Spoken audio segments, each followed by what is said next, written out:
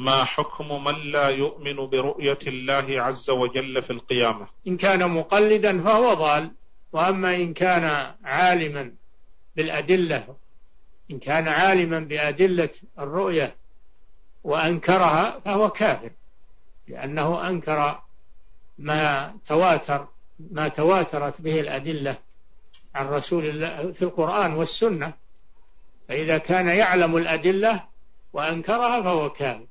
ما إذا كان ما يعلم الأدلة وإنما قلد غيره فهذا خطأ وضلال.